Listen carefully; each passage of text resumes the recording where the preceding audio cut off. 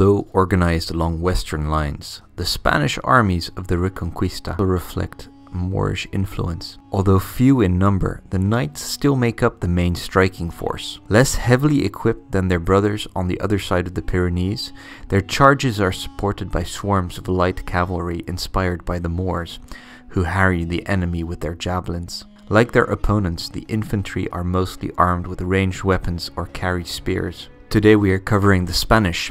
This faction represents the armies of the Christian kingdoms of Spain, fighting in the Reconquista. Starting off with the equipment options. The Warlord and Hearthguard are mounted on horses. Warriors either have no equipment options or are mounted on horses and equipped with javelins. Levies must either be armed with bows or javelins. Either way, a maximum of one unit can exchange its bows for crossbows. This faction focuses heavily on light cavalry with javelins. The basic abilities at the top of the board are already different. Instead of activating units by troop type, here you activate them whether they are mounted or on foot. Instead of the levy activation, you have something called Iberia, which is an activation reaction. Trigger this ability after an enemy movement or shooting activation has been resolved.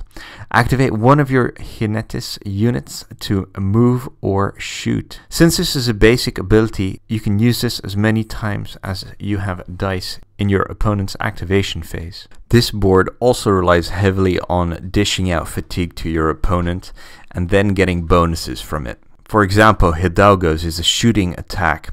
Your attack dice get a plus one bonus for each fatigue the target of your shooting attack currently has. Blazing Sun is another shooting attack where you discard all of your attack dice and the enemy unit targeted suffers a fatigue. Chaos is an ability in the order's reaction phase that you can use to shuffle around fatigue. Choose a warband and take all of its fatigues. This could be yours or your opponent's warband.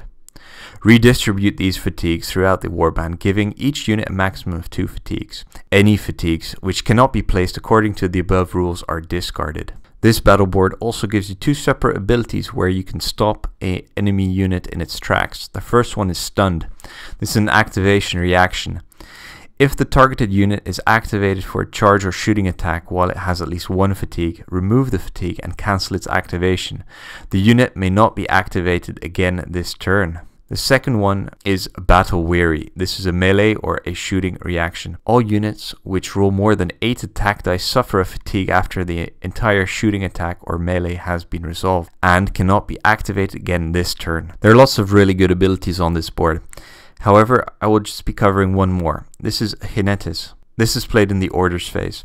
Choose one of your mounted units equipped with javelins. Until the end of the turn, this unit's movements and shooting activations are free, but it cannot be activated for a charge. This unit's targets reduce their armor by 1 during their shooting attacks. This unit may only fire once at each enemy unit during this turn. Remove one of its fatigue at the end of the activation phase. However, do watch out for the fatigues after playing this activation. Let's talk about warband composition. The most obvious choice is taking as many mounted warriors with javelins as you're willing to paint. I suggest taking at least 3 points worth, however, there's no harm in taking 4 points worth of them. The remaining points can either be spent in levies with crossbows, however you're only limited to one unit of them, even though mounted Hearthguards miss out on a lot of the shooting abilities on the board, it's still really useful to have a hard-hitting unit which can really dish out some attack dice on its own. Finally, just a parting word on the Iberia ability. This is an activation reaction. Also, this ability gets triggered after the enemy unit moves. With an enemy unit coming at you with either javelins or composite bows, you will be able to trigger this ability before they complete the remainder of their action. This is great because you can either shoot and diminish the unit coming at you, or you can run away and stay out of range. If you like factions which move a lot and also move in the opponent's turn, this one will definitely be one for you. I hope you find this interesting and hopefully this will bring some of you to pick up the Spanish. Talk to you soon. Thanks a lot.